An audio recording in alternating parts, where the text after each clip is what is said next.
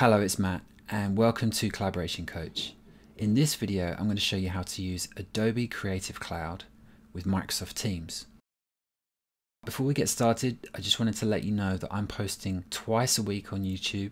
So if you don't want to miss anything, then please hit the subscribe button below. All right, so here I am in my communications team and I'm in my training channel. And I want to add a tab to the training channel for Adobe Creative Cloud.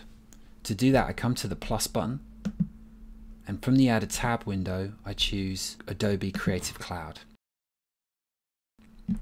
First thing it asks me to do is sign in. So I'm going to sign in with my own personal ID, but this could be in a team one if you have that.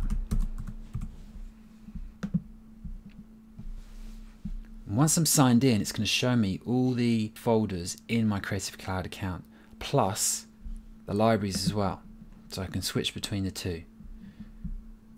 But I can only choose one. So for this example, I'm going to go to Files and choose Shared and then Save.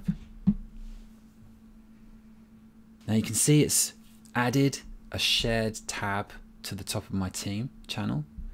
And within that tab, you can see what's in the shared folder itself. So I've got a couple of images there.